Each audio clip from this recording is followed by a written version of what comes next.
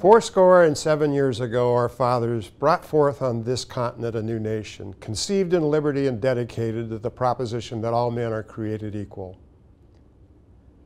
Now we are engaged in a great civil war, testing whether that nation, or any nation so conceived and so dedicated, can long endure. We are met on a great battlefield of that war. We have come to dedicate a portion of that field as a final resting place for those who gave their lives that that nation might live. It is altogether fitting and proper that we should do this.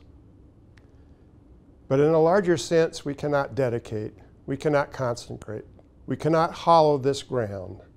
The brave men, living and dead, who struggled here have consecrated it far above our poor power to add or detract.